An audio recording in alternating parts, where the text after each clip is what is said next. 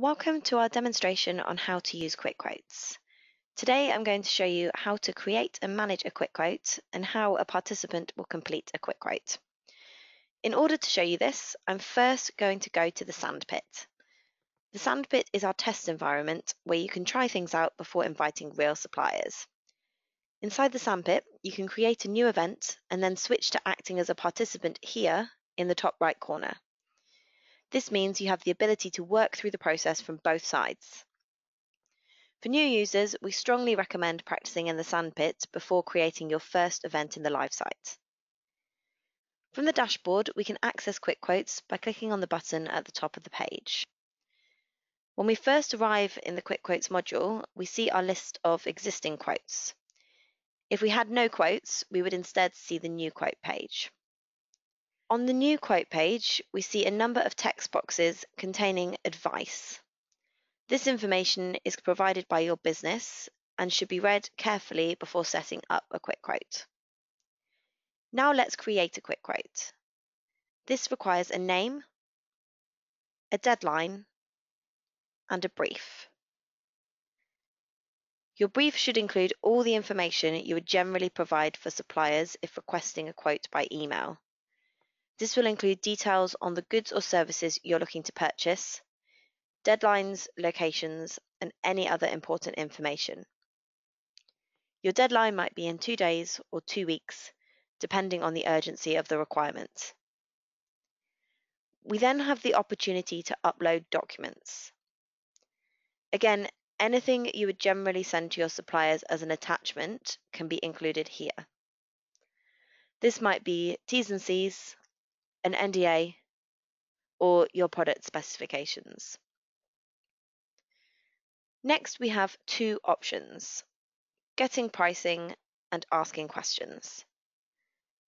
To include each of these, tick the relevant box. Remember that these are optional though. For example, if you only want to ask for pricing, leave the questionnaire box unticked. Each price request requires a name describing the requirement and a unit of measure, such as each if you're looking for pricing per item, ton for pricing per weight, or box of six if that's how the item comes. You will also state the quantity you're looking to purchase. Next, we can ask the supplier some questions. The answers to these may be yes, no, free text, or an uploaded document. For example, you may wish to ask about lead time or require the supplier to agree to your T's and C's. We now need to invite some suppliers. As we're in the sandpit, at this point we can invite only our three sandpit companies. However, in the live site, we would see this. The option to invite either a predefined group or any supplier by their email. Once the supplier details are completed, we click on Get Quotes to invite our participants. This will send the suppliers an email with a link to the quick quote. I'm now going to switch to a supplier view to show you what they'll see. After clicking on the email link, the participant will see the invitation, select the event, and accept it.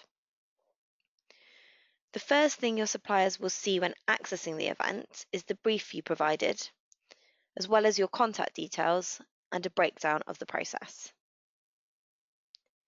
If you've asked your suppliers to answer questions, this will be the first section they need to complete. All questions are mandatory in order for the quote to be considered valid. Once the questions are answered, participant may then move on to bid in the RFQ by clicking on the Place Bid button, adding their quote, and then clicking on Submit. Once the pricing has been provided, from the supplier's perspective, all tasks are complete. At any time, including after having submitted their bid, a participant may send a message to the host. These are often questions or clarifications.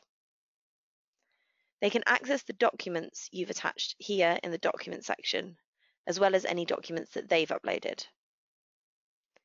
I'll now return to the host view to show you how the supplier responses will be displayed. Once the quote request has been sent to the suppliers, you will see all the important details regarding your event on this screen.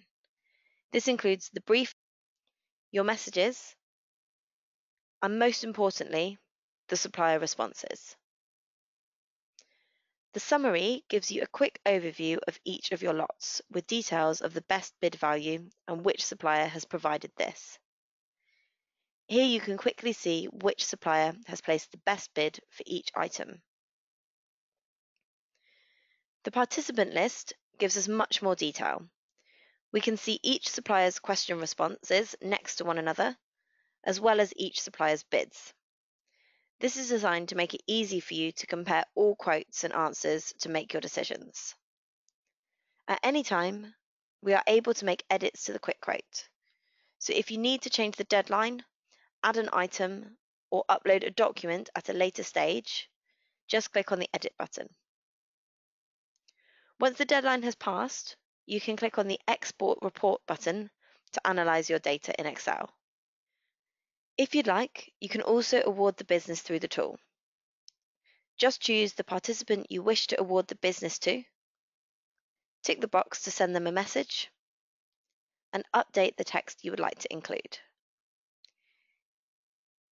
You can include a purchase order number if you'd like. Once you're finished, you can send the award notice. And that's it. Hopefully this has shown you how quickly and easily you can complete a quick quote event.